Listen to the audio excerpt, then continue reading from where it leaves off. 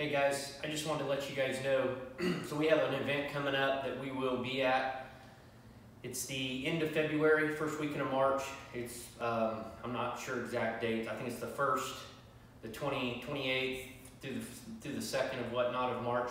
But we'll be in Detroit for the Autorama.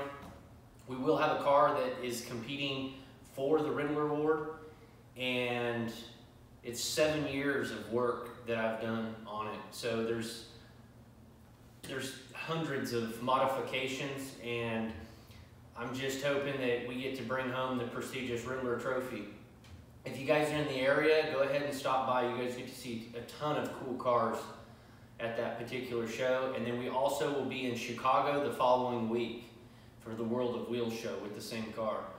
So if you guys are um, going to be in the areas, I will have a little bit of merchandise with me, hats and shirts and stuff like that. If you guys are wanting to purchase one, don't want to pay shipping, you're at the show or whatnot, come find me. I don't know what booth we'll be in. I don't have the I have the number, but it's in an email, so I'm not really, um, you know, to, to, to tell you guys that right now. But uh, as it gets closer, I'll definitely, you know, probably once we get there, I can give you what booth. So if you guys want to stop by, you won't find any photos of the car. The car, we cannot post any photos. Uh, after the show, I can. So hopefully we, we bring home the, the, big, the big trophy. I, that would be pretty cool.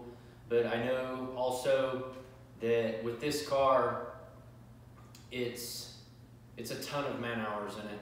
And you guys will get to see firsthand when I get into Detroit and it's on display I'll kind of briefly go over the whole car, the modifications that we did, and stuff like that. So you guys get to see it up close and personal even if you're not there. So if you're not a subscriber, if you have friends that are subscribers that are going to that show or whatnot, uh, or friends that are going to that show, tell them to go over and subscribe to my channel. I'll probably do a video while I'm there of most of the cars, but I'm going to kind of focus more on the car that I built and stuff like that. So you guys stay tuned and uh, hope to see you guys in Detroit and Chicago.